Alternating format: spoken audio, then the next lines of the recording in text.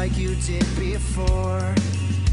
I'm realizing emotions are so pure, and there was never.